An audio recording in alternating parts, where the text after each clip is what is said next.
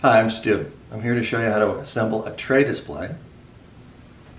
These are the parts. I'm going to take a foot with the stabilizers on either end, an arm. The arm fits into the stabilizers like this. Both ends. Now we're going to take our shelves and slide them in place. You notice there's parts on the ends here. They slide by simply putting them on the shelf and sliding them into place. And you do that for each of the shelves. Set them on the arms, slide them into place. Set it on the arm, slide it into place.